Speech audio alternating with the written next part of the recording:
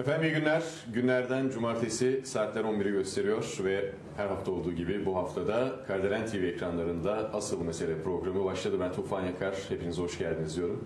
Arkadaşım Şakir Bozan'la birlikte hazırlayıp sunuyoruz programı. Asıl meseleyi konuşuyoruz ve asıl meselede konuşulması gerekenleri masaya yatırıyoruz. Her hafta farklı bir konumuz, önemli bir konuğumuz oluyor ve tabii ki konuğumuzla birlikte hem Türkiye gündemini hem de dünya gündemi içerisinde Türkiye'nin aslında yerini olması gerektiği pozisyonu ve tabii ki Türkiye'nin önemini konuşmaya çalışıyoruz. Bugün de yine önemli bir konuğumuz var. Erzurum Milletvekili Sayın İsmail İbrahim Aydemir, özür diliyorum İbrahim Aydemir, stüdyo konuğumuz. Hoş geldiniz efendim. Hoş bulduk. Çok teşekkür Yabancı değil İsmail de kardeşi.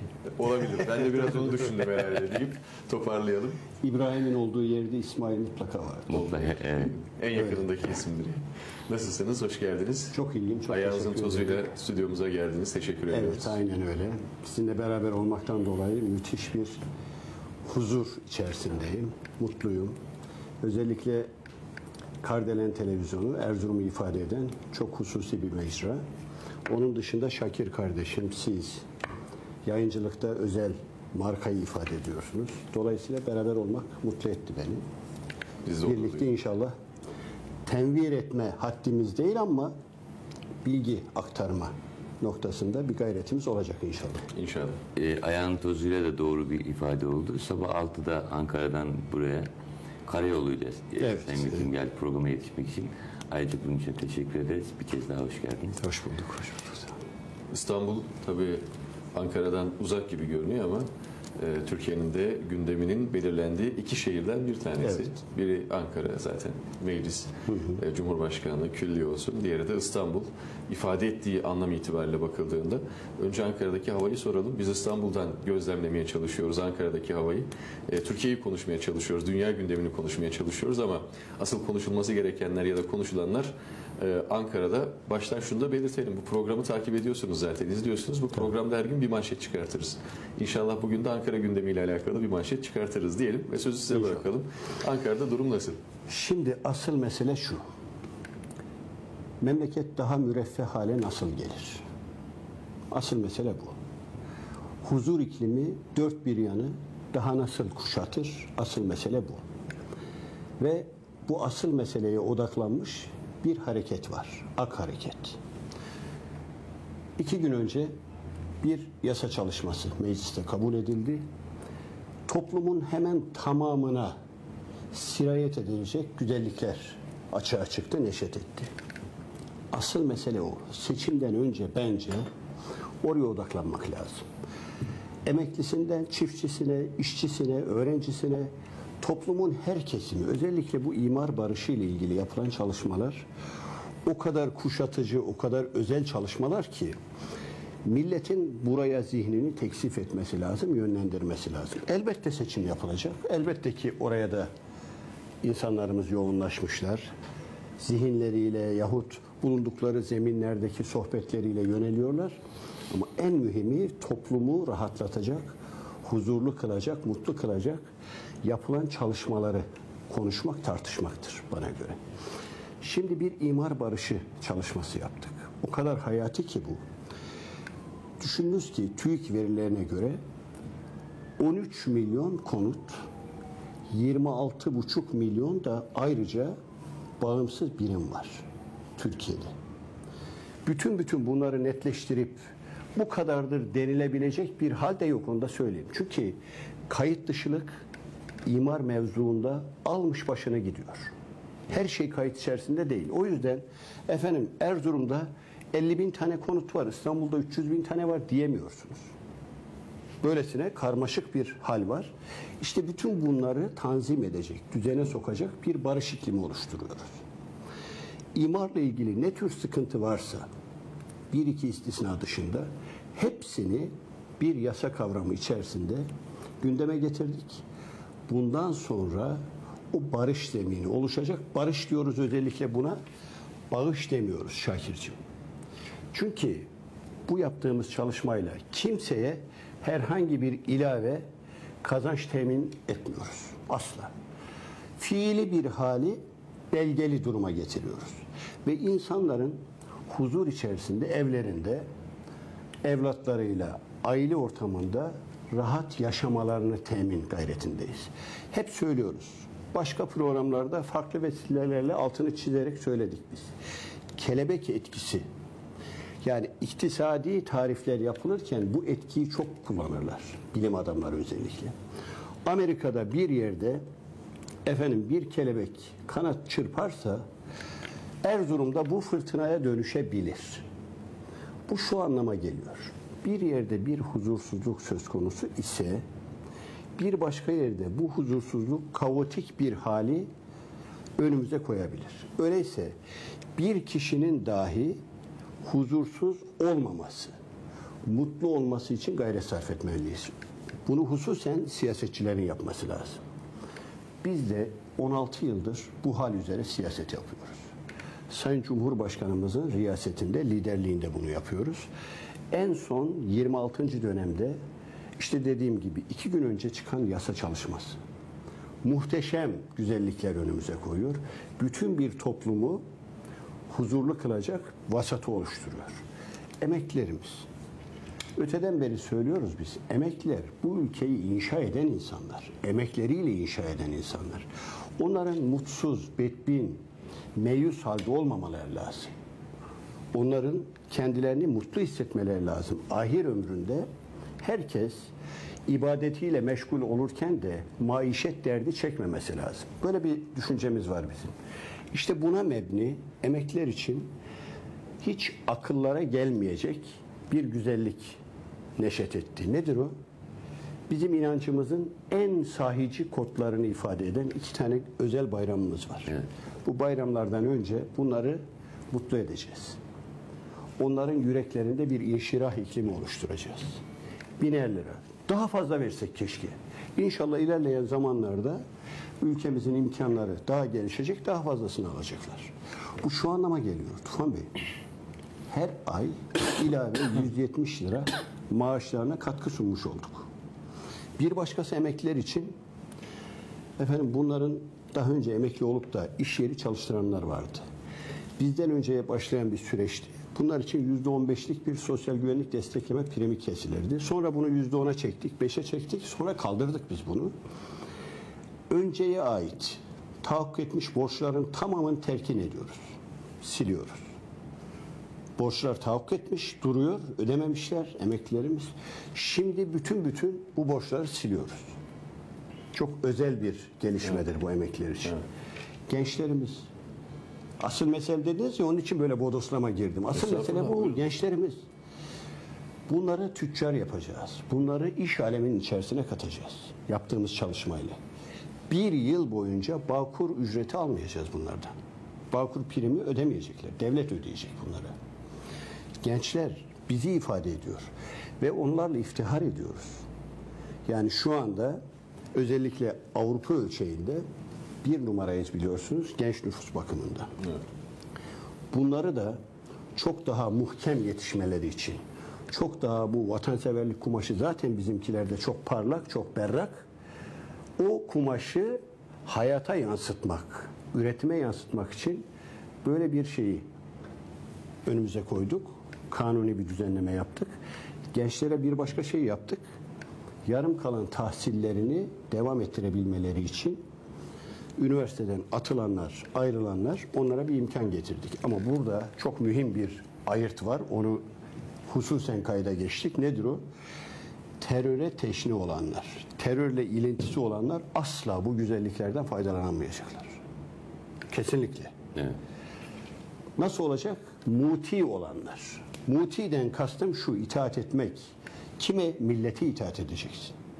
Millete zulmetmeyeceksin. Zulmedenler hiçbir güzellikten faydalanmamalı. Eğer faydalanırlarsa orada ciddi bir adaletsizlik söz konusu olur. Onun için böyle bir fark koyduk oraya. Terörle ilintisi olmamış olanlar üniversitelerine dönecekler, tahsillerini de tamamlayacaklar. Çok çok mühim. Çiftçilerle ilgili yani toplumun bir başka kesiti. Bunlar biliyorsunuz hazineye ait bir takım arazileri kullanıyorlardı. Bundan sonra bu arazileri kullanırken 10 yıllık burayı kiralayabilecekler. Çok uygun şartlarda.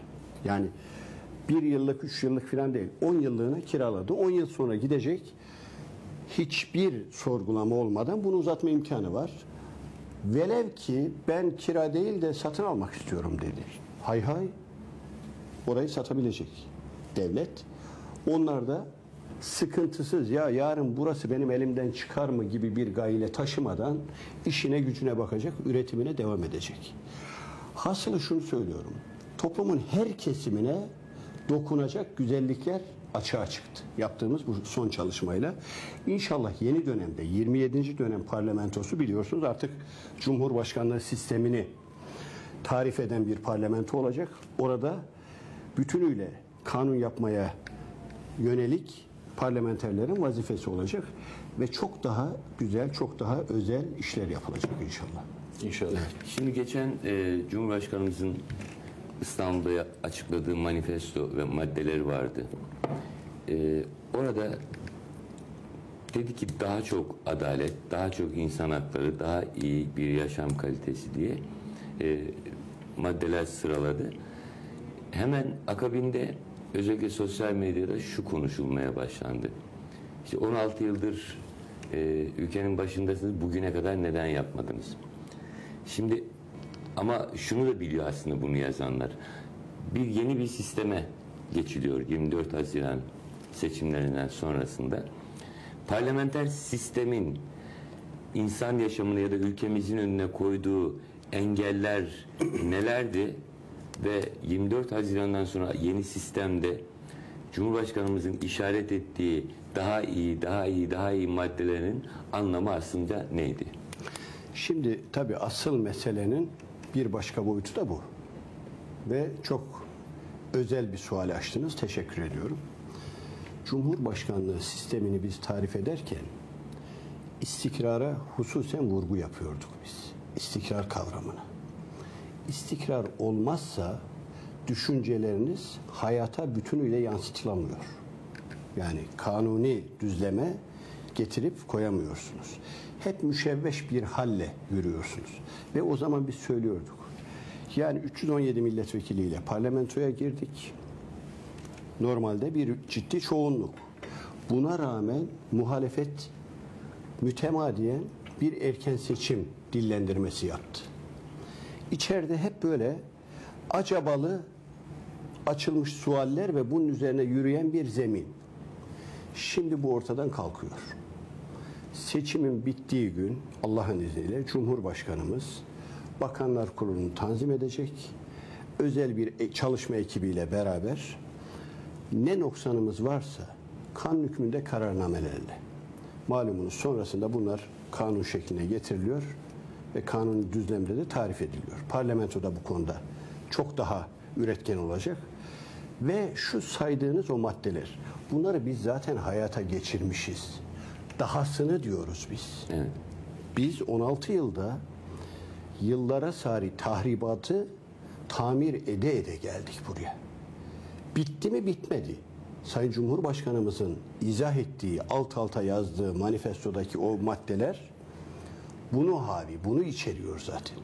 Bitmiş değil. Ve hayat sürekli bir değişim önümüze koyuyor. Her değişim yeniden bir tanzim yapmayı da gerektiriyor. Yapılan budur. Sayın Cumhurbaşkanımızın söylediği budur. Dolayısıyla iktidardaydınız niye yapmadınız? Parlamenter sistem bir prangayı ifade ediyor. Siyasetçi için attığın her adımda önüne bir mania, bir bakıyorsun bir bürokratik mania çıktı önüne.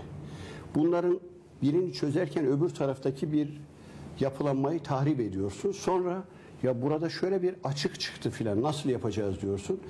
Ve zaman o kadar önemli bir kavram ki maliyet unsurların en önemlisi.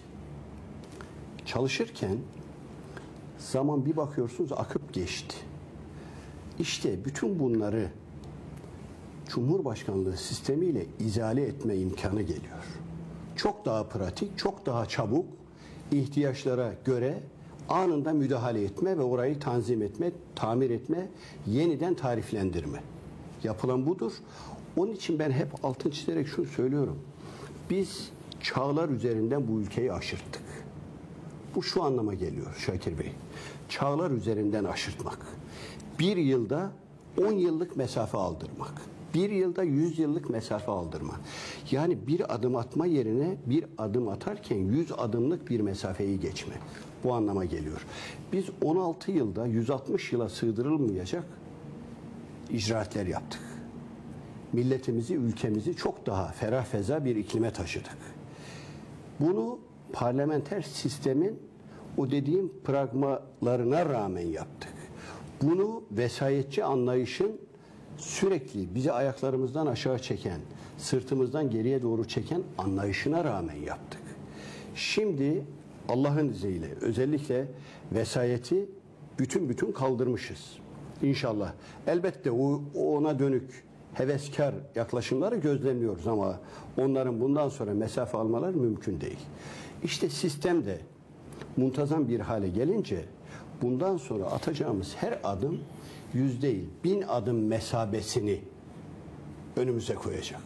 Ve çağlar çağlar üzerinden aşıp zirvelere ulaşacağız. Israrla söylüyoruz biz bunu. Bir siyaset büyüğümüzün ismini vermeyeyim siyaset yani e, vermekten şeref duyarım ama burada başka tedavileri olmasın diye özellikle vermeyeyim. Vatanseverliği tarif ederken milletimizi çağlar üzerinden aşırtıp müreffeh milletler seviyesine ulaştırmak diye tanım getiriyordu vatanseverliğe.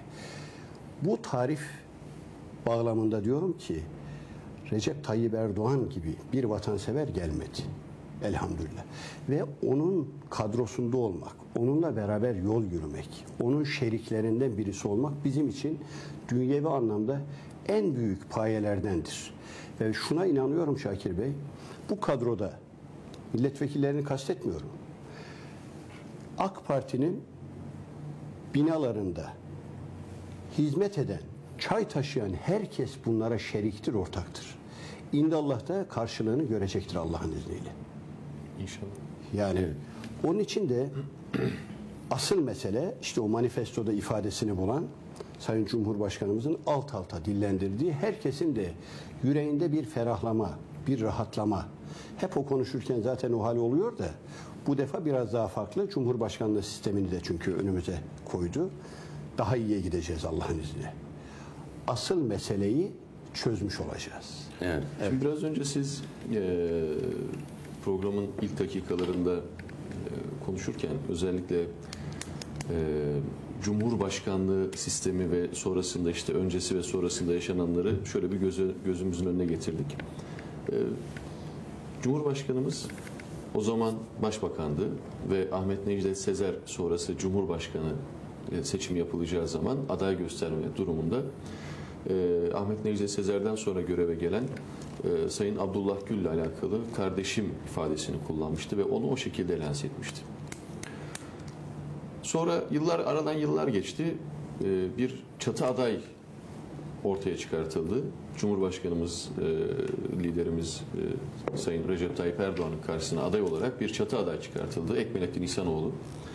Ekmelettin İhsanoğlu ile alakalı e, o zamanki işte yine halen e, Genel Başkan Kemal Kılıçdaroğlu CHP'de özellikle de sosyal medyada metiyeler düzmüştü. Kemal Kılıçdaroğlu'nun nasıl bir Cumhurbaşkanı adayı olacağına dair ve iki farklı tarihte o metiyeler dizilmişti yani sosyal medyada. Aradan yine yıllar geçti. Bu sefer yeni bir Cumhurbaşkanlığı seçimi var ve aynı zamanda milletvekili seçimleri de olacak. Şimdi bir aday açıklandı. Önce ilk gir- girizgah olarak şunu merak ediyorum. Sorumu da devam ettireceğim sonrasında. Muhalefet Meral Akşener dışında e, Cumhurbaşkanlığı seçiminde aday için hazır mıydı? Birincisi bu. İkincisi, şimdi bakıyoruz Cumhuriyet Halk Partisi bilmiyorum gece attım ben dün akşam sosyal medyada da paylaştım kendi sosyal medya hesabımda. Muharrem İnce ismiyle alakalı Kemal Kılıçdaroğlu'nun sosyal medya hesabında en ufak bir paylaşım yok. En ufak bir paylaşım yok. Yani kendi partisinin dışındaki Ekmelettin İhsanoğlu ile alakalı sosyal medyada metiyeler e, döşeyen Kemal Kılıçdaroğlu kendi partisinin içinden gel bakalım Muharrem İnce buraya dediği o Muharrem İnce ile alakalı Cumhurbaşkanı adayıyla alakalı hala sosyal medya hesabında ki o tarihten sonra da paylaşımları var. Başka konularda bir paylaşım yok. İkincisi de Muharrem İnce ismi. Sorumu birleştirerek sorayım.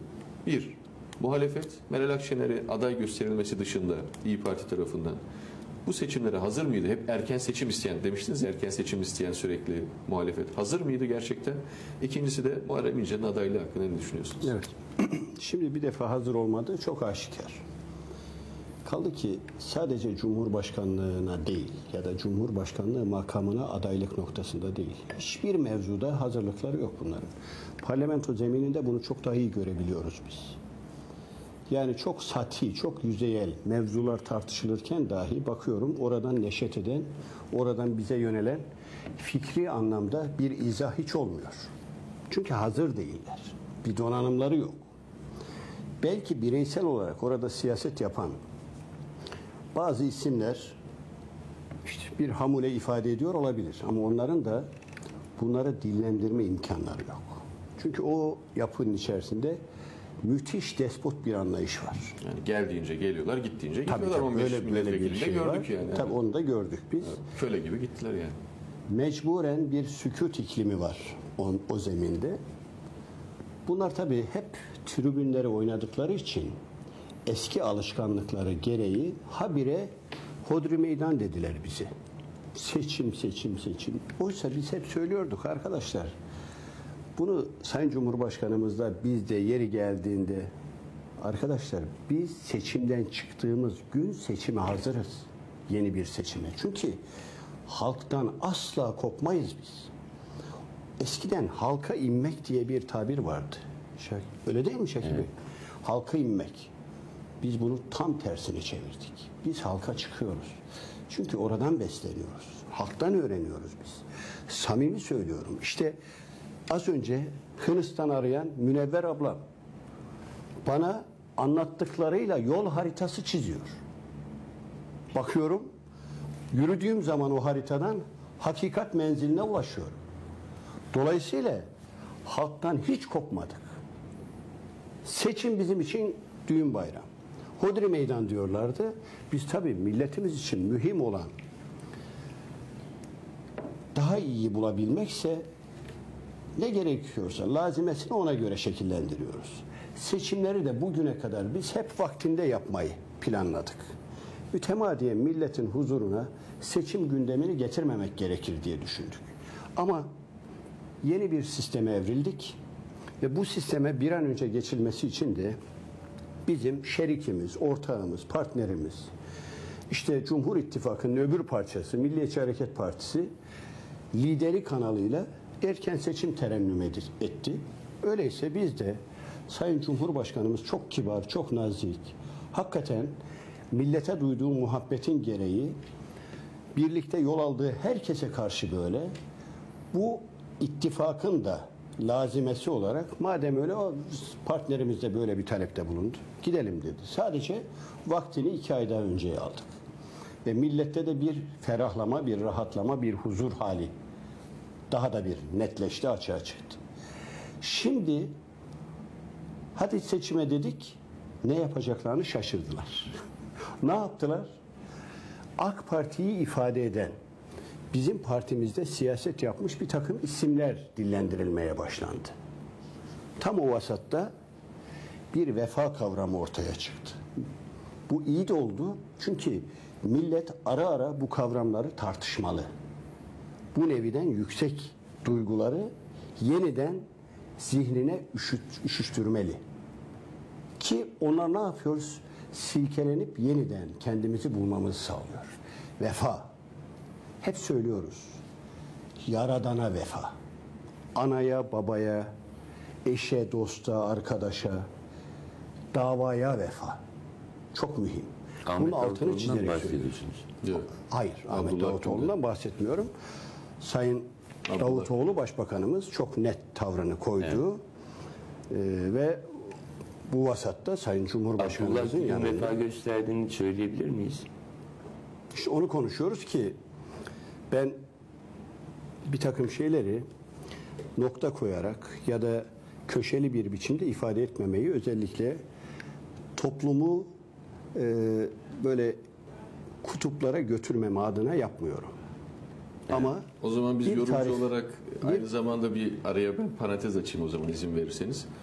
Ki bu benim şahsi düşüncem olarak söyleyeyim. Siz tabii bir siyasetçisiniz aynı e, salonlarda aynı partide yıllarca beraber görev yaptınız. Ben şunu söyleyeyim o zaman. Şakir Abd- e, Sayın Abdullah Gül vefa gösterdi mi diye sordu. Ben oraya sadece üç harften oluşan bir ek yapayım. Sayın Abdullah Gül bugüne kadar hiç üç harfli kelime bu. Hiç vefa gösterdi mi? Evet. yani ben şunu söylüyorum. Sayın Cumhurbaşkanımız Recep Tayyip Erdoğan veba- vefanın zirve ismidir. Ha. Vefa kavramı geçtiğinde akla gelen ilk isimlerden birisidir. Dolayısıyla onunla yol alanların liderimizdir de. Onu bu noktada meyus edecek, onu üzecek bir hal sergilemişse vefasızlığın zirvesinde durmuş demektir. Ben biraz estetik ifade etmeye çalışıyorum bu hali ki şimdi ak anlayışın tarzıdır da bu. Biz bodoslama sorular soralım Sayın Bekir. Evet, Siz buyurun. istediğiniz şekilde estetik şey yapın. Şimdi Siyasette altın kuraldır. Sen ne sorarsan sor siyasetçi e, devamını verir Yani biz diye. soralım bunu. Mesela Abdullah Gül'ün açıklamaya ya en son yaptığı açıklama diyorum. Açıklama yapmaya başladığı anda herkesin kafasında şu oluştu. İlk konuşmanın ilk başlarında. Ee, ya çok konuşuldu, çok tartışıldı işte olacak mı, olmayacak mı, Çatay aday, aday gelecek mi, gelmeyecek mi falan filan. Konuşmanın sonlarına yakın hep bu vardı kafada. Şimdi diyecek ki e, evet ben de Tayyip Erdoğan kardeşimi e, bu platformda destekliyorum ve onunla birlikte hareket ediyorum diyecekken Demesi gerekir ki gerekirken insanların beklentisi buydu. Öyle bir konjöktür oluşmadı. Üzerimde bir anlaşma sağlanamadığı için ben de bu işte olmayacağım dedi ve bütün konuşmayı çöpe attı bence. Yani en başta dese kardeşim üzerimde anlaşamadılar ben de olmuyorum deseydi o kadar uzun da konuşmasına gerek yoktu bence. Bodoslama sorun bu. Şimdi siz siyaset nezaketi, kişilik nezaketi içerisinde bir takım şeyler söylüyorsunuz. Çok net gördüğüm için çok net anlıyorum tabii. Ama halk bundan 20 sene önceki halk değil artık. İletişime çok, bilgiye çok hızlı ulaşan bir halk var. Ve ne söylendiğini çok net anlayan bir halk var. Seçimlerden bıkmış ama bu dönemde seçimi özleyen bir halk var. Yani seçim atmosferi gelse de bir heyecan yaşasak diyen bir halk var. Önceki yıllar öyle miydi? Yani iki senede, bir senede, bir buçuk senede, altı ayda, yedi ayda seçimler yaşar ve artık insanlar seçim e, lafını duymak istemezlerdi. Abdullah Gül'ün açıklamasını son olarak siz o nezaket çerçevesinde nasıl değerlendirirsiniz? ben tabii Sayın Cumhurbaşkanımızın tarzını, üslubunu taklit etmeye çalışıyorum. Çünkü o bizim liderimiz. Evet. O bu meselede beni konuşturmayın dedi. Aslında bir ayak verseydi, bir uç verseydi söyleyeceğimiz çok şey var. Ben bu bağlamda vurguyu yapıyorum. Vefa o kadar mühim ki insan olmanın ilk basamağı. O basamağı atlayanlar hep kaybettiler. Yani kendisini insan olarak tarif eden o kavramdır. Vefalı mı değil mi? İnsan olmanı tarif için söylüyorum. Değilse başka bir şeyi tartışmaya gerek yok. O meşhur sıfırları yazıyor ya insana ait hususi, hususiyetleri filan ardı ardına işte böyle bir takım sıralamalar yapıyor. En başa karakteri koyuyor. Bir diyor. O biri kaldırdığınızda sıfırlan hiçbir ehemmiyeti yok. Burada karakter kavramını kullanmıyorum ben tabii ki. O ayrı bir mevzu. Ben vefa kavramını, insanı tarif eden kavramdır. Biz vefalı olacağız. Sayın Cumhurbaşkanımız kendisi o gün Cumhurbaşkanı pekala olabilirdi. Kardeşim deyip öne çıkardı. Buyur dedi. Buyur diyebilmek dostu tarif ederken dost buyur diyebilendir. Bu, bu, Yani bu gel şey- buraya demedi yani. Tabii asla gel buraya. demez. Bizim tarzımız, tavrımız değil, üslubumuz değil tabii ki o. Buyur dedi. Buna karşılık böyle bir e, cevap hakikaten vefasızlık olarak tarif edilebilir. Dolayısıyla işin o kısmı öyle. Bakın ben size bir şey söyleyeyim. Cumhurbaşkanı adaylığı dediniz Tufan Bey. Evet. Kimi buldular? Daha önce bu partide genel başkanlığa talip olmuş birisini buldular. Birkaç defa aday oldu. CHP tabanı, CHP seçmeni, seçmeni ifade eden delegeler senden bize genel başkan olmaz dedi. Yani partiyi yönetemezsin diye bir irade koydular. Kaç defa? Birkaç defa. Kemal Kılıçdaroğlu'nun da bu, bu yönde bizzat söylemi var. Ve ben- partiye genel ben- başkan olamaz dedi. Sayın Vekilim ben de o konuya şöyle diyorum. Yani evin hırçın çocuğuna e, ya da afacan çocuğuna güvenip evin anahtarını vermeyenler 24 Haziran'da ülkenin tapusunu istiyorlar. Ona verin diyorlar. Tam da öyle. Ben bir düzeltme yapayım bu arada. Sayın iste- izin verirseniz. Hani biraz önce demiştim ya bu programa girene kadar attım atmadım mı sosyal medyada bir paylaşımı var mı bilmiyorum diye. Atmış Çünkü mı? en son dün yok yine atmamış. ben de attı diye bir yok, şey yok bekliyorum. yine atmamış. yani. Hani orayı düzelteyim. Hala atmamış diyeyim. yani. Şimdi bakın biz Türkiye'de hakikaten çok mühim değişimlerin altına imza atmış bir hareketiz. Hep toplumsal fayda adına yapmışız bunu. Asla ne kurumsal yani AK Parti ifade eden güzelliklerdir bu ne de bireyi ifade eden güzel. Bütün bir toplumu kuşatan değişimlerdi bunlar. Bunların en başta gelen neydi? Bir takım maniaların önündeki bütün bariyerleri kaldırmaktı. Evet. Özellikle inanç saadetinde insanlar kendilerini ifade edemiyorlardı. Başörtüsü. Bakın bir, bir hali özellikle burada söyleyeceğim. Başörtüsü dedim oraya bir parantez açacağım. Samimi söylüyorum. inandığı için varsayalım bir cuma günü namaza giderken etrafını kollayan devlet memurları biliyorduk biz. Şimdi elhamdülillah bütün bunlar izale edildi. Bunu niye söyledim biliyor musunuz? Bunların Cumhurbaşkanı adayı diye çıkardıkları Muharrem İnce'nin bir beyanatı var. 2014 yılında. Başörtüsü yasağını kaldırdığımız için yaptığı tarif şu kamuoyuna. Cumhuriyete meydan okudular dedi. Yani başörtülü insanların işte işlerini yapmaları, okula gitmeleri cumhuriyete baş kaldırıymış gibi, meydan okumakmış gibi. Kim tarafından? Muharrem İnce tarafından dillendirildi. Böyle birisi bu milleti tarif edecek Cumhurbaşkanlığı makamında yer alacak. Bu millet bu hallerin hepsini tek tek gözlemliyor, notunu veriyor ve asla kat'a bunlara fırsat vermez. Kaldı ki bir şeyi de ortaya koymak lazım. Milletimiz gerçi biliyor ama hafızaları tazeleme ya da hakikati burada not düşme adına söylüyorum ben.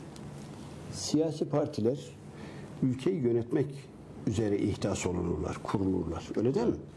Genel başkanlarının da nihai olarak hedefledikleri makam parlamenter sistemde başbakanlıktır. Cumhurbaşkanlığı sisteminde ya da başkanlık sisteminde başkanlık ya da cumhurbaşkanlığıdır. Olması gereken budur. Şimdi efendim CHP ana muhalefet partisi genel başkanı.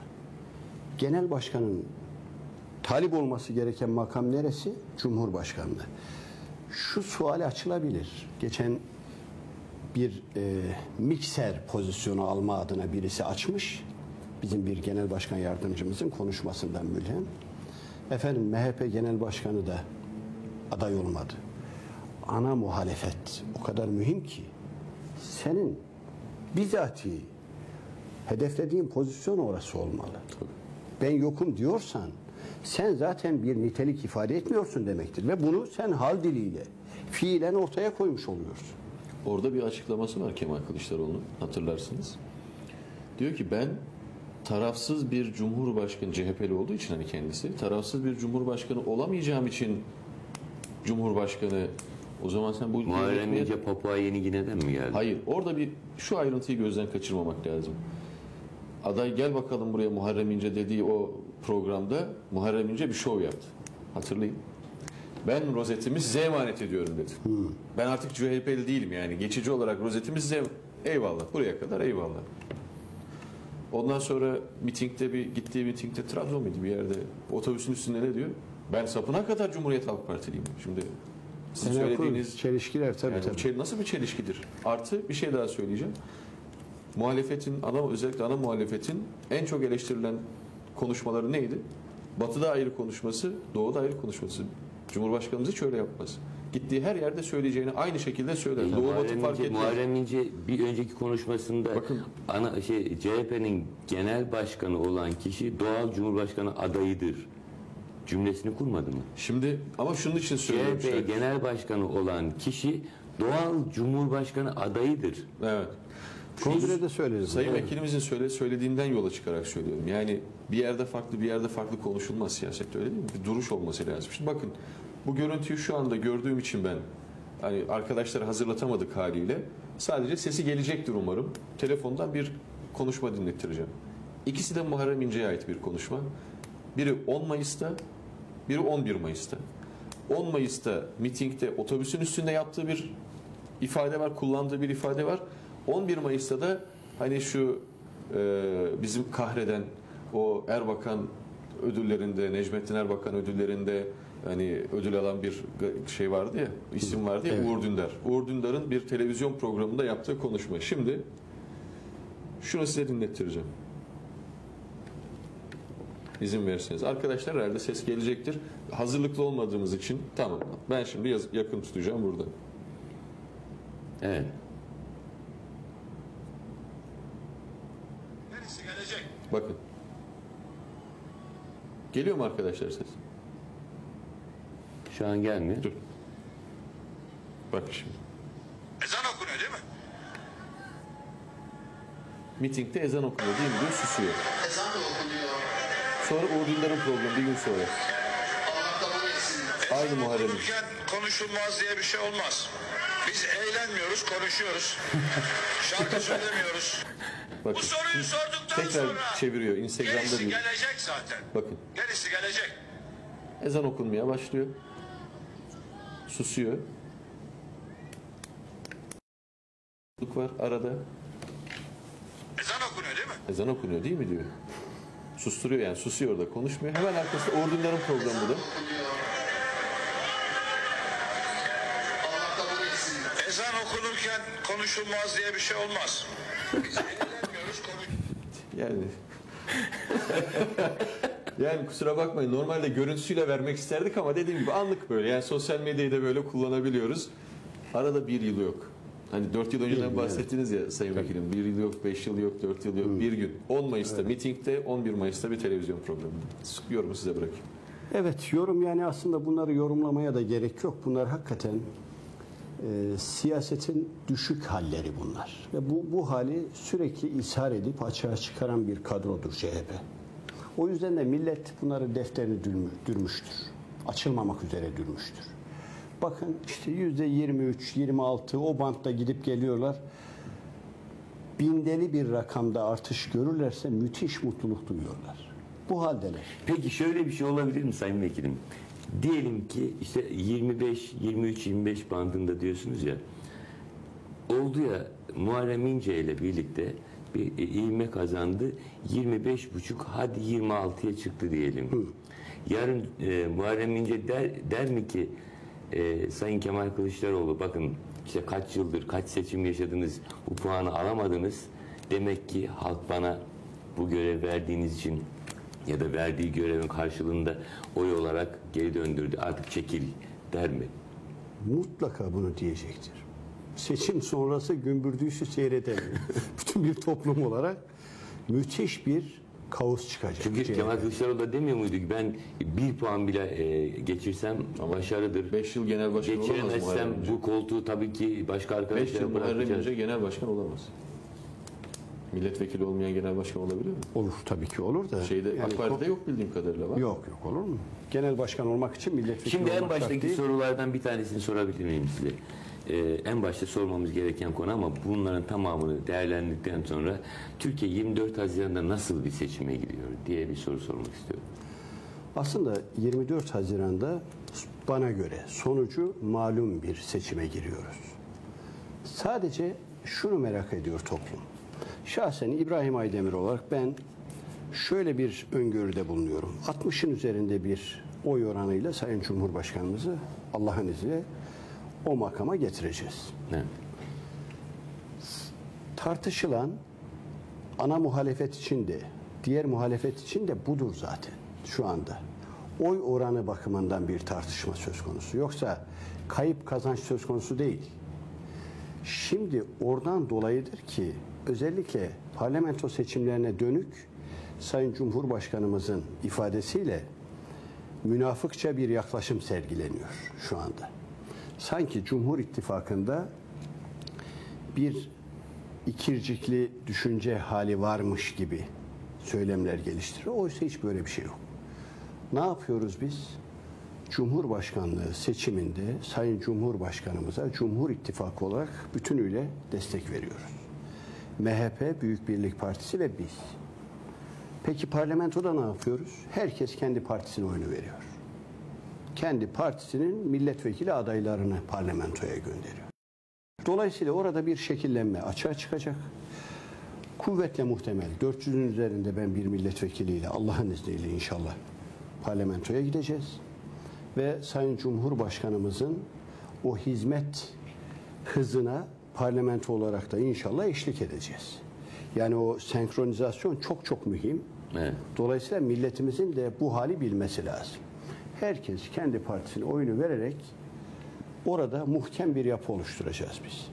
Bizim şahsen benim gördüğüm 317 milletvekilimiz var. Bunun çok daha üzerinde bir milletvekili alacağız. Bu MHP için de geçerlidir. Milliyetçi Hareket Partisi'nde, partisi de bu süreçte oyunu artıracaktır. Onların milletvekili sayısı da fazla olacaktır. İşte Büyük Birlik Partisi kendini tarif edecek hali bulacak parlamentoda. Kardeşane bir yürüyüş, bir serencam ortaya çıkacak inşallah. 24 Haziran'da ne olacak dediniz ya. Bir güzellik, bir letafet açığa çıkacak. Bütün endişe de bundan. Endişeli hali aslında arka planda yaşayanlar başka. Bunlar gördüklerimiz. Bunlar topluma gösterilenler, içerideki aktörler. Asıl endişeli olanlar dışarıdaki çevreler. 16 yılda bütün prangalara rağmen bu vesayetin en baskıcı, en böyle despotik yaklaşımına rağmen bu mesafeyi aldıysa Recep Tayyip Erdoğan liderliğindeki bu yapı bundan sonra bunları tutmak mümkün değil diye düşünüyorlar.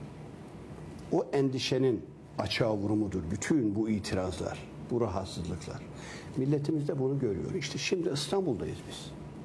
Öyle değil mi? Burası İstanbul. Az önce aşağıda kendimize göre etrafta olanlarla bir sohbet ettik. Gözlemimiz o. Yani İstanbul'da hiç umulmadık bir noktada zirvelerde oy alacağız. Göreceksiniz. Gittiğimiz her yerde bu hali birebir gözlemliyoruz. Anadolu'da, Erzurum'da bunları zaten konuşmaya gerek yok. Herkes biliyor, aşikar bir hal. İstanbul üzerine netleşmiş bir görüntüyü ben burada paylaşıyorum. O zaman bundan sonraki tabloyu, Anadolu'nun nabzını, Türkiye'nin içinde bulunduğu durumu, dünya gündemini izin verirseniz kısa bir ara verin. Aranın hemen ardından devam edelim. Memnuniyetle. Efendim asıl mesele kaldığı yerden birazdan devam edecek.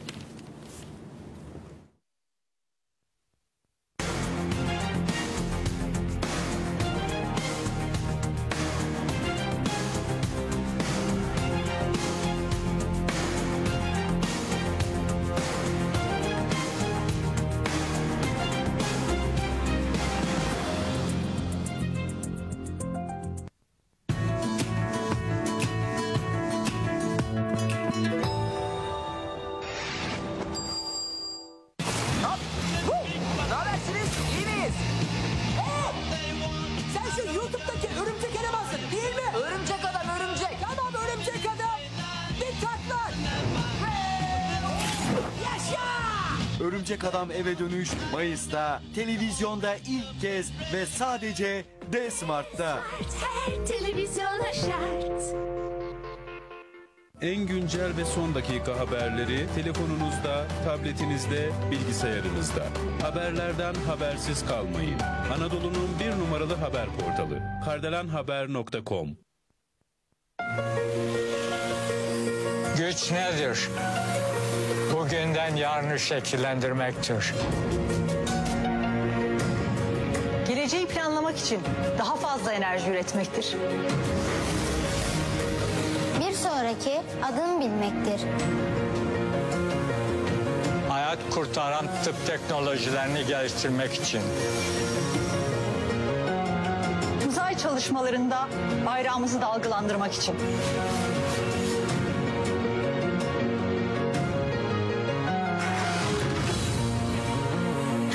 Hayallerimizin kanatlanması için. Bilimde çok güçlü olmaya ihtiyacımız var. Güçlü bir Türkiye için Türkiye şimdi temiz ve bağımsız enerji istiyor.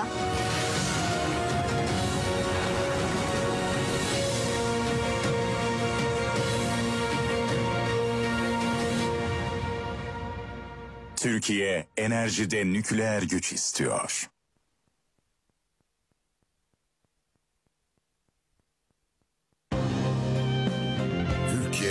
Mehmetçiğe, Mehmetçik Türk milletine emanet.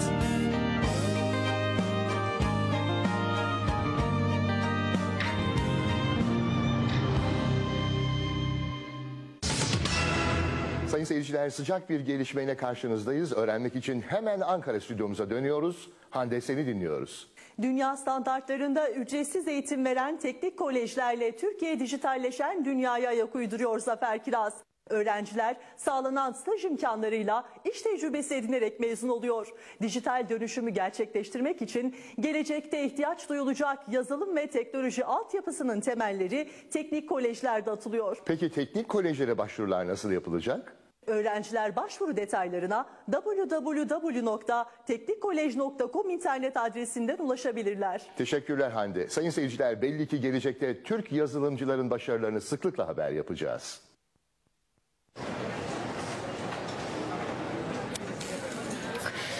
Siz içmeseniz bile sigara dumanı boğazınızdan geçtiği anda akciğerlerinize zarar vermekle kalmaz. Trombositleri harekete geçirir, kan pıhtılaşmaya başlar ve atar damarlara zarar verir. Biriken plaklar kalbe kan akışını engeller. Bu durum inmeye ve kalp krizine neden olabilir. Hayatınız duman olmasın.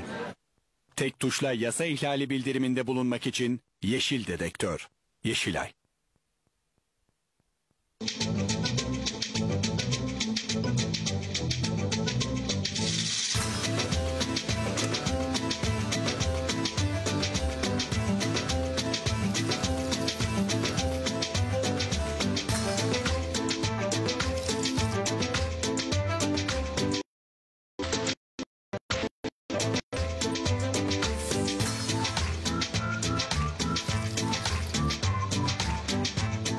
Memleketi bu kadar renkli, memleketlisi böyle hamarat olur da insan doyar mı bu mirasa? Doya doya haftada en az iki gün bakliyat ye, özenle büyü, formunu koru, sağlıklı yaşa Türkiye.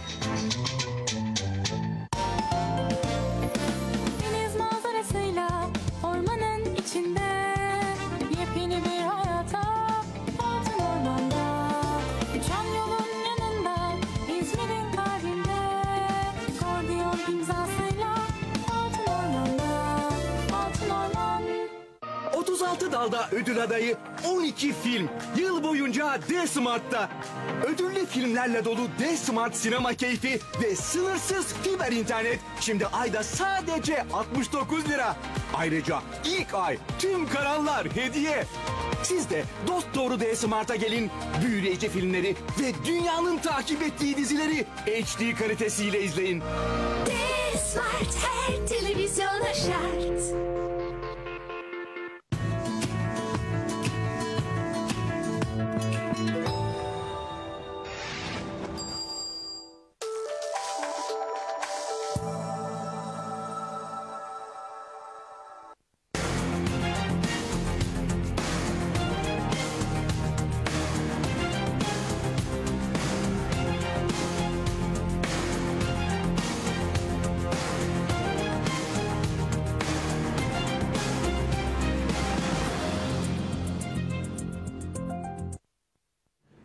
Efendim Kardelen TV ekranlarında asıl mesele kaldığı yerden devam ediyor. Erzurum Milletvekili İbrahim Aydemir stüdyo konuğumuz. Asıl meseleyi konuşuyoruz. Tabii e, 24 Haziran yaklaşınca e, konuda seçimler olunca e, biz de ana gündem maddesi olarak seçimleri konuşuyoruz. Türkiye'de Hani İbn Haldun'un bir güzel bir sözü var ya e, yaşadığınız coğrafya sizin kaderinizdir diye. Bir taraftan e, yenilen pehlivanların doy- doymadığı bir seçim atmosferi son 16 yıldır. Diğer taraftaysa ama bir de gerçek var ki sonuçta Cumhurbaşkanlığı seçimleri 24 Haziran'da. Şimdi tabii 24 Haziran'da İstanbul'un nabzını e, ayağının tozuyla tutmuş e, sayın e, vekilimiz. Sonrasında Erzurum'dan bahsettik ama e, haliyle bir de Türkiye'yi konuşmak lazım. Ne görüyorsunuz şu andaki tabloya baktığınızda? Valla tablo tabii ki ben taraflı bir gözlem yapıyorum. Mutlaka böyledir. Ancak bir marş koyuyorum. Sahici marş koyarak söylüyorum ki parlamento seçimlerinde de yüzde 60'lar noktasına yürüyen bir oy oranını Cumhur İttifakı elde edecek. Bu kesin.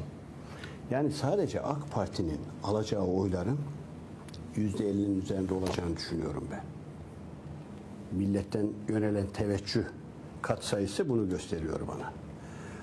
Dolayısıyla 24 Haziran'dan sonraki süreçte çok daha huzurlu bir yönetme zemini açılacak. Çünkü hem Cumhurbaşkanımız için hem parlamento için ve o 5 yıl, önümüzdeki 5 yıl hizmetlerin zirvelere varacağı bir vasatı yaşayacağız. İnşallah buna dönük hazırlıklarımız da var bizim. Çok hazırlıklıyız. Hükümet etme noktasında bizden daha tecrübeli bir kadro yok bu ülkede. 16 yıllık yaşanmışlık var ve her anı, her saniyesi, her zerresi hizmetle tariflenmiş, hizmetle taçlanmış bir çalışma vetiresi. Dolayısıyla Allah'ın izniyle 24 Haziran'dan sonra çıkacak sonuçlarla beraber hemen anında hiçbir şey beklemeden. Çünkü hazırlığımız var. Anında işe koyulacağız. O adaptasyon süreci filan hepsi şu anda hayat bulmuş şekilde ve milletimiz çok mutlu olacak. Özellikle Cumhurbaşkanlığı sistemini niye bu bugüne kadar evrilmemişizin nedameti yaşanacak. Görecekler çünkü bunu. Bakın bir şey söyleyeyim ben size. Özellikle terörle mücadele noktasında insanlarımız fikretsinler, düşünsünler. Daha önce tespit olunan herhangi bir terörist yapıya dönük müdahale halimizde bile çok ciddi noksanlarımız vardı. Sistemden kaynaklanan noksanlardı bunlar. Yani son kertede müdahale edecek olan ekibin bir efendim kendilerine direktif verilmesi için geçen saatler hatta hatta haftalar olduğu söyleniyordu.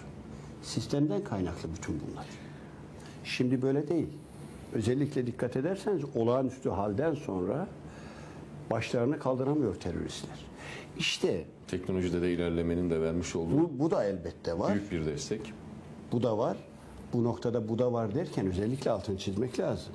Bu var ama bu yerli anlayışı hayata geçiren gene ak düşüncenin tezahürüdür bütün bunlar. Bu çok mühim. Kullanmaya, kullanmaya da bilirdik yani. Gayet tabii eskiden olduğu gibi başka yerlere bağımlı onlardan alacağımız direktifler koyun sürüsünü terörist diye tar- tarif eden bir hal yahut teröristleri yok canım orada koyun sürüsü geçiyor yahut işte bir hayvan sürüsü çok affedersiniz geçiyor diye tanımlara göre kendinizi konuşlandırmanız vardı. Şimdi yerli milli bizim kendi ürettiğimiz sihalar, İHA'lar dolayısıyla burada hak teslimi de yapmak lazım. Tamam teknoloji ama o teknolojiyi daha önce de kullanabilirdik. Ben şuna inanıyorum. Bütün kalbimle inanıyorum. 80'li yıllarda iktidar bulmuş olsaydı şu ak anlayış biz bu sihaları, İHA'ları çok önceden imal etmiştik. Hayata geçirmiştik. İsrail'den önce geçirmiştik diye inanıyorum ben buna. Çünkü yaptıklarımız ortada. Dolayısıyla bu sistem yani terör bağlamında örnek verdim. Her konuda anında müdahale edip anında problemi çözen bir sistem. O yüzden millet çok daha mutlu olacak. Çok daha bu sisteme geçtiğimiz için huzur duyacak. Geleceğimiz için, evlatlarımız için dünyada milletler camiasıyla bir mücadele içerisindeyiz biz. Yani biz hep şunu söylüyoruz. kimseye faul yapmayız. Kimseye çelme takmayız. Ama legal zeminde milletimizin çok daha öne geçmesi için gayret sarf ederiz. Zaten milliyetperverlik de budur. Vatanseverlik de budur. Aksi ırkçılık tan- tanımına girer. Başkasına çelme takmak, başkasını yok etmek. Bizim kitabımızda bu yok. Onlardan daha öne geçmek. Onlar yarışsın, kendi mecralarında, kulvarlarında biz de koşalım. Kim daha çok koşarsa, hızlı koşarsa menzile o daha erken varır. Bizim yürüyüş e, sistemimizin esası budur. O yüzden de 24 Haziran'dan sonra Allah'ın izniyle o kulvardaki attığımız her adımın mesafesi çok daha yüksek olacak. Bizi bekleyen bu hal olacak. Milletimiz de bunu biliyor. Fehmederek biliyor. İşte sosyal medyaya yansıyor. Şimdi artık hiçbir şey gizli saklı kalmıyor. İnsanların her, herkesin elinde bir kamerası var. Herkesin bir televizyonu var. Tarif yerindeyse işte o sosyal medyada bunları ya- yayınlayabiliyorlar. İki gün önce bir yaşlı büyüğümüzün kendisine uzatılan mikrofona söyledikleri eskiyle yeniyi mukayesesi. Ayrıntıya girmiyorum. O kadar net, o kadar berceste, o kadar belli ki söyledikleri herkes her şeyi biliyor. O yüzden 24 Haziran'ı aslında insanlar zihinlerine çok güzel kazımışlar. Hak şinası insanlardan bahsediyorum ben. Efendim AK Parti'ye oy verenler hak şinası öbürleri değil de demiyorum onu da söyleyeyim. Onlar da Allah'ın izniyle inanıyorum ben bu seçim olmasa bir sonraki seçim onlar da önemli bir kısmı AK Partili olacak. Hep öyle geldi. Hakikati görenler hemen yöneliyorlar. 24 Haziran bu anlamda da çok güzel şeylere gebe. Onun için de insanlarımız alesta bir vaziyette, hazır bir vaziyette bir an önce 24 Haziran gelse de vazifemizi yapsak diye düşünüyorlar. Şakirciğim. Evet. Hayırlı olsun diyelim o zaman. Şimdi e, tabii bir taraftan seçim atmosferi yaşanırken öbür taraftan da e, dış ülkelerin yine e, bir takım e, etnik ya da e, farklılıklar üzerinden ülkede hala bir yontma, parçalama, bölme durumu var. Nedir? Geçen Cumhurbaşkanımızın e, açıkladığı bir durum var. Dedi ki eğer dedim milletim bana tamam derse biz çekilmesini biliriz dedi. Ama onlar bunu çok yanlış anlamışlar. Yani o uçlar çok yanlış anlamışlar. Bir baktık ki sosyal medyada yüzde doksanına yakın bot hesap olmasına rağmen işte buna e, bugün Türkiye'deki genel başkanlar, muhalefetin e, içerisinde genel başkanlar da dahil olmuş. Hatta işin reklamını yapmak üzere Hollywood yıldızlarının yıldız dedikleri birkaç isme de aynı şekilde e, tamam e, yazdırarak paylaştırmışlar. İşte e, Güneydoğu'da e, Kürtlerin sözde savunucusu ben, bence en büyük düşmanı olduğunu bildiğimiz insanlar da tamam demişler. CHP'nin başındaki de tamam demiş. HDP'nin başındaki de İyi Parti'nin başındaki de tamam demiş. Amerika'dan yüzlerce kişi de buna tamam demiş. Şimdi bu e, tamamı nasıl bir yanlış anlama e, durumunda hissettiklerini size sormak istiyorum. Asıl meseleyi bir de o yönden değerlendirir misiniz? Şimdi ne güzel bir sual. Sayın Cumhurbaşkanımız grup toplantısında söyledi. Biz de her vesile altını çizerek söylüyoruz ki bize istikameti millet çizer. Bizim rotamızı ancak ancak millet belirler. Bunu söylüyoruz. Sayın Cumhurbaşkanımız da bu bağlamda söyledi bunu. Ama onlar mal bulmuş mağribi gibi buna sarıldılar. Tabii her zaman olduğu gibi, her işte olduğu gibi burada da sükutu hayal yaşadılar. FETÖ'cü imansızların koordinesiyle Amerika'dan, Pensilvanya'dan örgütlenmiş bir yapı sosyal medyada sözüm ona işte onu e, etiket yaptılar. Ama karşılığı devam şeklinde milyonları bulan ve merkezi Türkiye olan, millet olan bir karşılıkla muhatap oldular. Twitter bu devam etiketini de sürekli silmesine rağmen bir, yerde- rağmen. bir yerden sonra e, başaramadı çünkü tepkiler çok büyüdü. sosyal medyada. Evet buyurun. Şimdi demin Güneydoğu'da Kürtler kavramını kullandınız siz. ben özellikle bunun çok çok dikkate alınması gerektiğini, hususen bu mevzuda görüş belirtmemiz gerektiğini söylüyorum ben. Selahattin neydi? Cumhurbaşkanı adayı. Demirtaş. Demirtaş. HDP'nin Cumhurbaşkanı adayı. Soy ismini dikkat eder, soy ismini bile hatırlayamadım. O kadar ki iz bırakmamışlar bunlar. Parlamentoda görev yaptım. Bu içeri alınıncaya kadar o eylemlerinden dolayı hukuki takibe uğrayıncaya kadar bir defa mecliste görmüşüm ben bunu. Bu kadar ilgisizler meclise karşı. Bunun altını çiziyorum ben. Bak bu çok ilginç bir şey. Çok mühimdir kaç Yıl, kaç yılda bu? Hadi bir senesini hapiste diyelim. Yani kadar süre oldu iki bilmiyorum. yıl hiç parlamentoda bir defa görmüşüm ben onu. Bu kadar. Evet. Başka görmemişim. O kadar ilgisiz. Ve bir partinin genel başkanı. Bir eş partinin genel genel başkanı. başkanı ve iz bırakmamış. bağlama çalıyordu. Evet. Şunu özellikle söylüyorum. Bunlar asla Kürt kardeşlerimizi tarif etmezler. Bunu bileceğiz. Hepimiz bileceğiz. Kürt dediğimiz yapı bu milletin en esaslı, en şerefli yapısıdır. Ve vatanseverlikte onlar kıvam ifade ederler, nitelik ifade ederler. Öyleyse parantezi açacağız. Kürt bu tek millet kavramının esaslı bir unsurudur. HDP ile de uzak yakın alakası yoktur. Çok açık. Tam tersi. Kürtler milliyetperver, vatanperver ve çok inançlı, inanç saadetinde çok muhkem duruşları olan insanlarımız. Biz beraberiz de Erzurum'da özellikle. Çok kardeşane bir hal üzere yürüyoruz. Zaten bu kavramı kullanırken bile biraz da garibime gidiyor. Yani kardeşane bir hal üzere yürüyoruz. Zaten kardeşiz biz. Yani bana göre efendim Karaçoban'daki Celal abiyle Tortum'daki Sabri abinin hiçbir farkı yok. Hiçbir farkı yok ki benim için. Asla ve kata. İnsan ve bu milletin çok böyle zirve isimleri bunlar. O yüzden buna hususen dikkat etmemiz lazım. Yani dil kullanırken, kavram kullanırken bu imansızların efendim ekmeğine yağ sürecek tarzdan uzak durmak lazım. Bu siz söylediğiniz için söylemiyorum. Siz ayak verdiğiniz için bu hali millet bilsin diye hususen söylüyorum. Çok mühim. Kürt kavramını çok rahat kullanacağız. Kürtlük şerefimiz. Efendim başka bir etnik kimlik şerefimiz. Cenab-ı Hakk'ın bahşettiği hususiyetler bunlar bize. Türklük onurumuz, şerefimiz.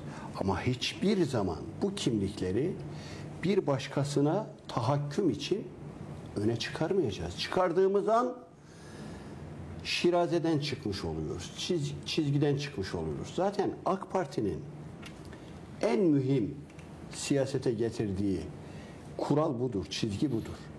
O çizgiden çıkanlar, çizginin dışına taşanlar HDP gibi teröre teşne bir yapıyı ifade ederler. O yüzden çok mühim bu. Ee, bir şey daha ilave edeyim. Tufancığım devam et. Şimdi bu aday adaylık sürecinde ilgimi çeken bir şey oldu Sayın Vekilim. AK Parti'nin Türkiye genelinde aday adaylık başvurusu 7329 zannediyorum. Ee, net rakam bu diye düşünüyorum. Ee, yanılıyor olabilirim de bir iki sayıda. Ee, ve adaylık başvuru sürecinde küsmeler, kopmalar, şunlar bunlar olma ihtimali var mı? ya da daha önceki seçimlerde bunu yaşadınız mı? Hani adaylık başvurusu yapmıştır da aday olamamıştır. Böyle bir kopma var mı? Bunun olmaması için kimileri için bir abi, kimileri için bir arkadaş, kimileri için bir kardeş olarak sizin bir milletvekili olarak bu süreçte aday adaylarımıza özellikle ne söylemek istersiniz? Bir de olayın bir ekonomik boyutu var. Ee, e, 7300 ee, 29 e, milletvekili aday ortalama işte engelli e, adaylarımızdan bir miktar ya da alınmıyor bilmiyorum. Bir miktar e, alınıyor. İşte kadınlarımızdan e, yine Yarısı. daha düşük alınıyor. Gençlerimizden daha düşük alınıyor. Diğer tavan limit 6 bin lira diye biliyorum. Yanlış mı? Evet doğru. Doğru. doğru. Şimdi bunlar, bu rakamı rakamları çarptığınızda 40 milyonun üzerinde bir ücret Yok emekli ve kadınlar olduğu için 25-30 milyon civarı falan yapıyor. Hayır rakamın boyutunu anlatıyorum ben. Tabii tabii. O, çünkü o rakamın içinde hani yarı yarıya verecek olanlar Yarı var yarı ya. ben 5 5 milyondan yani ortalama e, 40 milyona yakın bir rakam hesapladığım için söylüyorum. Hadi 35 milyon olsun problem değil. 35 milyon gibi bir rakam oluşuyor. Hani size sürekli şunu söyle, söylüyorlar ya ben de onun için e, bu konu hakkında da bir düşüncenizi almak istiyorum. AK Parti seçim harcamalarında bu parayı nereden buluyor sorusunun cevabı direkt AK Parti'ye aday adayları ya da gönül verenlerden geldiğini ne zaman fark edecekler? Çok aşikar ne güzel söylediniz. Evet. Şimdi bir defa şunu söyleyeyim ben.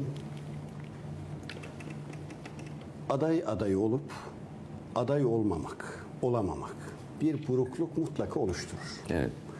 Ama ak zihinler asla ve kata aday olamadığı için dönüp davasına ihanet etmezler. Asla.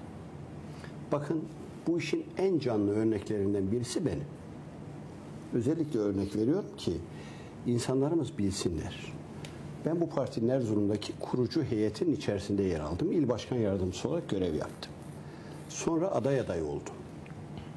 Adaylık nasip olmadı. Üçüncü dönem nasip oldu. Son sırada aday oldum. Seçilemedim. Son kertede biz şunu söylüyoruz. Olanda hayır vardır. Ve şunu biliyoruz. Cenab-ı Hak neyi yazmışsa onu yaşıyoruz. Bu çok mühim. O yazmışsa önümüze geliyor. O yazdığı için üç dönem aday olamadım. O yazdığı için bir yıl içerisinde iki dönem milletvekilliği nasip oldu bana. 25 ve 26. Öyleyse olana teslim olacağız. Elhamdülillah diyeceğiz hale.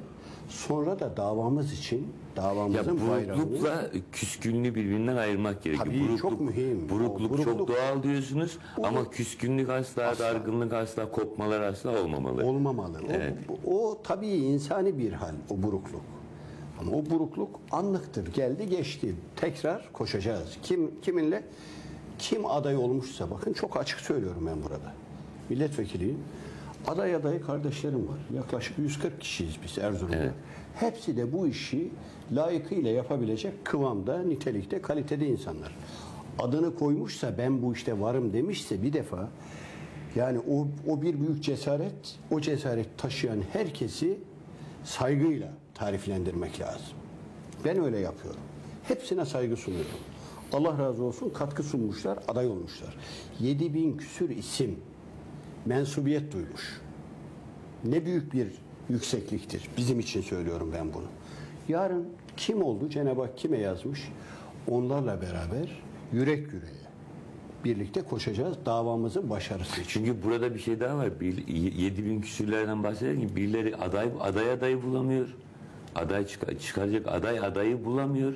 Birilerinin sayısı bini geçmiyor. 600-750'de kaldı Türkiye genelinde böyle bir şey var. Tabii tabii yok. O elhamdülillah biz kurulduğumuz günden bu yana bu anlamda çok velut, çok üretken bir halimiz var bizim. Çok şükür. Onun için de bununla da iftihar ediyoruz. 7000 küsür, 7300 az bir sayı değil. Yüksek bir rakam. Bunların tamamı sahada inşallah aday olanlarla beraber yürüyecekler. Hep beraber bir kadro, bir yüksek kadro olarak gideceğiz. Ne adına?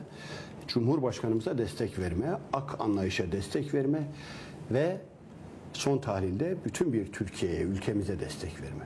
Bunu birlikte yapacağız, göreceğiz. Şu güne kadar şükür bu neviden isim sayısı çok azdır. Hep beraber yürüdük. Ben iki dönem milletvekili adayı oldum. Üç dönem affedersiniz. 2011 ve 2015'te iki defa biliyorsunuz. Hepsinde de bizimle beraber aday adayı pozisyonunda yarışan sonra aday olamamış arkadaşlarımla beraber olduk biz. Şimdi de bunlardan çok sayıda isim var. Tekrar aday adayı pozisyonu aldılar. Kardeşane bir münasebet üzere götürüyoruz.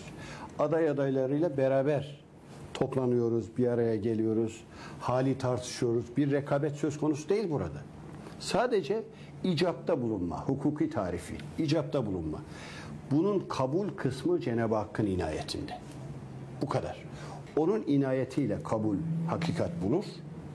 Değilse yapacak bir şey yok. Teslim olacağız biz bu hale. Bir siyasi büyüğüm şöyle söylemişti. Taht işi baht işidir demişti. Evet. Bahtında varsa olur olmaz. Yoksa olmaz. Yazılanları yaşıyoruz Yazılan. diyoruz. O yüzden de kardeşlerime aslında bunu söylemeyi bile, aday aday olanlara söylemeyi bile ayıp sayıyorum ama biliyorum ki onlar şu anlattığım tarif üzereler. Bu 7300 kişi için söylüyorum. Allah'ın izniyle adaylar tespit olundu 21 Mayıs itibariyle. Mevcut adaylarla ilgili insanlar oturacaklar, bir görüş belirtecekler. Tabii ki karşılıklı sohbetler, konuşmalar, şöyle olsaydı böyle olsaydı ama ertesi güne uyandığımızda hemen birlikte sahada Allah'ın izniyle bir büyük başarıyı yeniden elde etmek için gayret edeceğiz. Yani bu, bu, Bu kesin. ülkede şunu da görmek lazım. Sevgili Şakir, Sayın Vekilimiz herhalde hakkını verecektir. Muhtar bile ol- olamaz denilen insan öyle makamlara geldi ki dünya lideri oldu. Ama siyaseten çok şey yapmak isteyip de işte hiçbir şey yapamayan yani makam anlamında tabii. söylüyorum yanlış anlaşılmasın yoksa herkes çok kıymetli işler yapıyor. Makam anlamında hani o beklediği makamlara gelemeyen insanlar da var. İşte bahtında ne varsa onu yaşıyor. Sona gel- giriyoruz. Biraz da Erzurum siyasetini Tam konuşalım. Erzurum, Sana o noktada Erzurum, söz vereyim. Erzurum özelinde Ne verir, bekliyor e, mesela Şimdi Erzurum? şöyle diyeyim en Yeni azından. Şöyle başlayalım. E, sizin döneminizde özellikle iki dönem dediniz. Sizin döneminizde e, Erzurum için konuşulanların e, ne kadarı hayata geçti? E, hizmet anlamında. Çünkü bizim e, şehrimizin insanı her yerde olduğu gibi sizlerden çok şey bekliyor.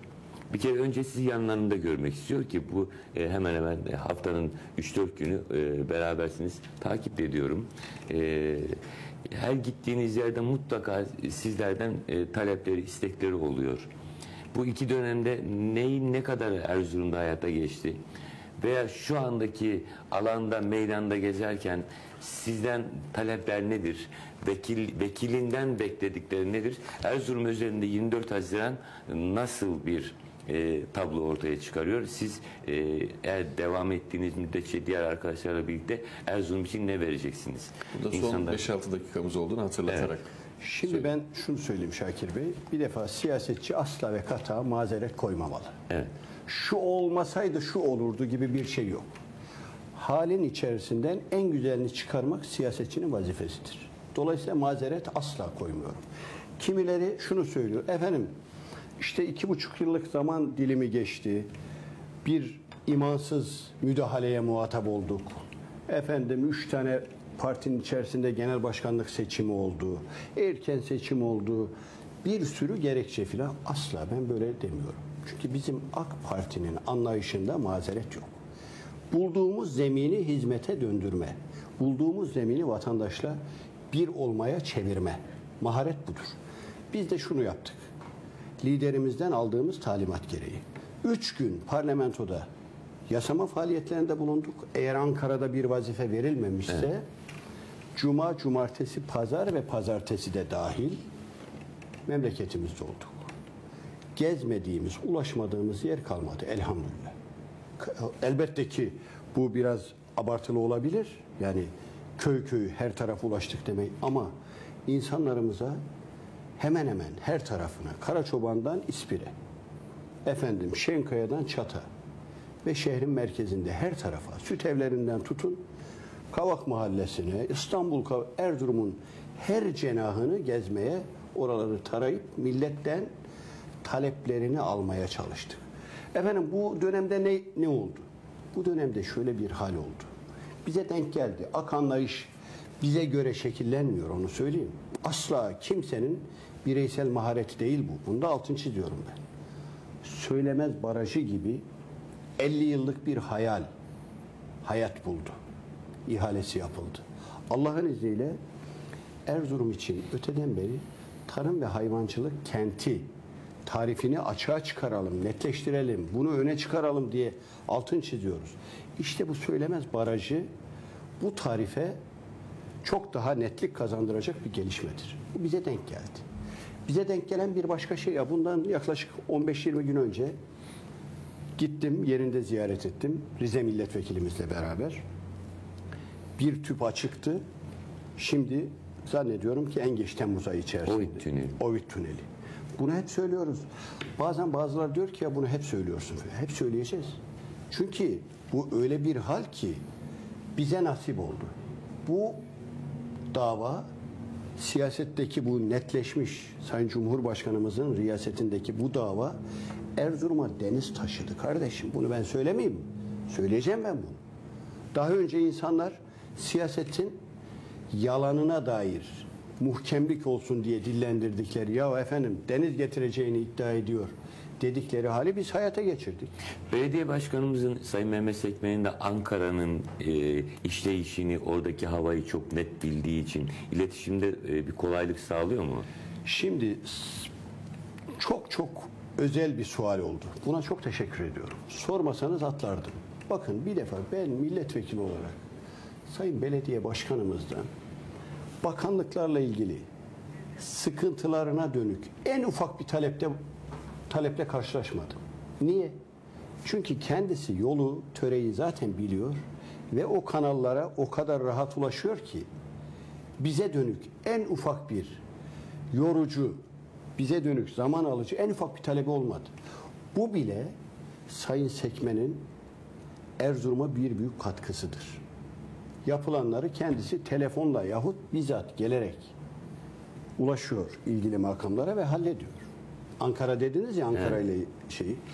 Bizimle de biz beş milletvekiliyiz şu anda kardeşane bir münasebet içerisindeyiz. Sayın Bakanımız önümüzde hep beraber yapılanları hayata geçirmeye çalışıyoruz.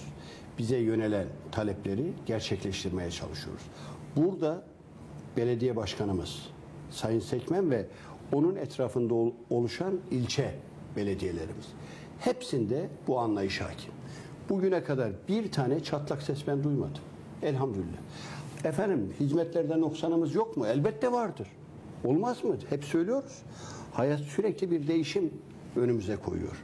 Dolayısıyla dün ihtiyaç olmayan yarın ihtiyaç diye karşımıza çıkabiliyor. Ve o noksan olarak bize mutlaka faturalandırılır. Öyleyse hizmette noksanımız vardır ama kusurlu bir hal üzere yürümemeye hep beraber gayret sarf ettik. İl teşkilatımız, şu anda AK Parti il teşkilatı, ilçe teşkilatlarımız kol kola yürek yüreğe. Bir defa dedikodudan, nemimeden, gıybetten uzak bir vasat yaşıyoruz biz. Bundan daha büyük bir nimet olabilir mi? Bu hali bize nasip ettiği için de Cenab-ı Hakk'a şükrediyoruz. Belediye başkanlarımızla beraber. Fevkalede düzgün bir zemin yürüdük. Ben şahsen bu iki buçuk yıllık zaman diliminde hiçbirinden en ufak bir sıkıntı yaşamadım.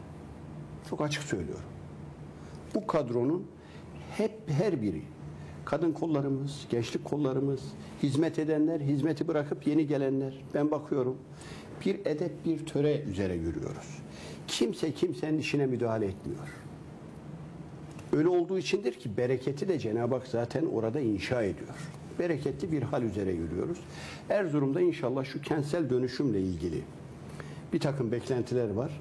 Şu girdiğimiz vasat da o kentsel dönüşümü artık böyle yapılanmış, netleşmiş, çok daha böyle e, sahaya yansımış halde göreceğiz. Belediyemiz, Büyükşehir Belediyemiz çok hazırlıklı. Diğer belediyelerimiz de öyle. Bu vasatta şu seçimden sonra çok daha hızlandırılmış bir hizmet ekibi göreceğiz inşallah. Çok teşekkür ediyoruz efendim. Sağ olun değerli yorumlarınız için. Tufancığım, e, Sayın Vekilimizin gazetecilik bir e, geçmiş olduğu için e, son sözüm manşetle yapsın diyorum ve günü öyle bitirelim. Evet, o zaman 24 ben- Haziran'ın manşetini koyalım. O zaman şöyle diyelim. Asıl mesele ülkemizi zirveye taşımaktır. Bunun en kestirme yolu da Sayın Cumhurbaşkanımıza sadece bu defa değil, Allah'ın izniyle yaşadığı sürece hep devam demektir. Peki. Teşekkür Çok ediyoruz. teşekkür ediyoruz. Yayınımıza Çok keyifli bir sohbet oldu. Sağ olun. Efendim asıl meselenin sonuna geldik. Bugünkü konuğumuz Erzurum Milletvekili İbrahim Aydemir'di. AK Parti Milletvekili İbrahim Aydemir'di ve asıl meseleyi bulmaya, asıl meseleyi konuşmaya çalıştık. Arkadaşım Şakir Bozan'la birlikte hazırlayıp sunuyoruz programı. Her hafta olduğu gibi yine haftaya saatler 11'i gösterdiğinde buluşabilmek dileğiyle. Hoşçakalın.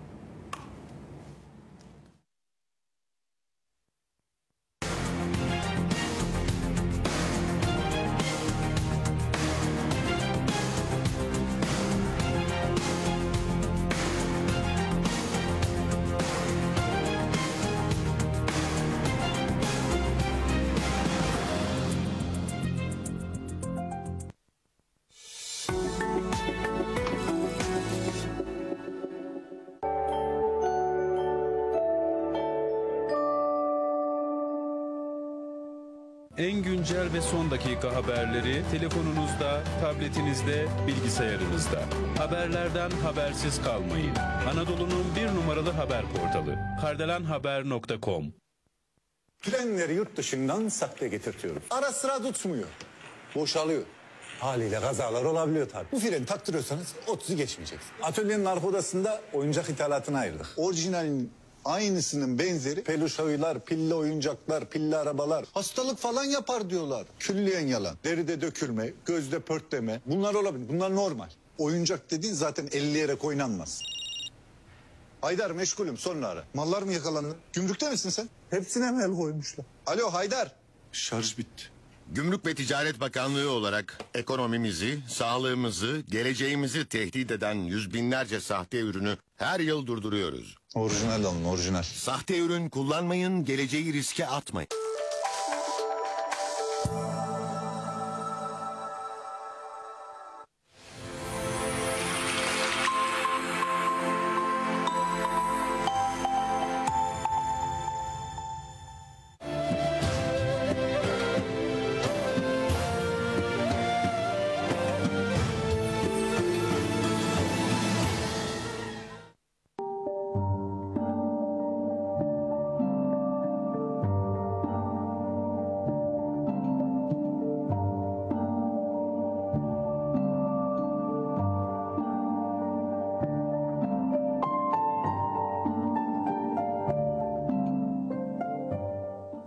Ağustos 1925 Balkan yazının sıcak günlerinden biriydi.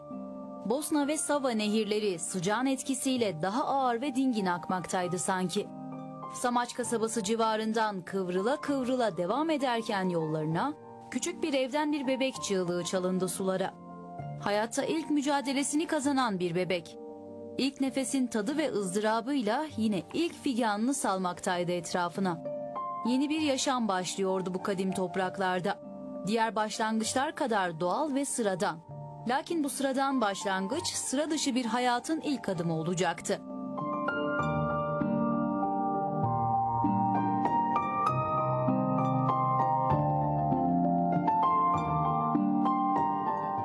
O gün o küçük evden yükselen sesin sahibi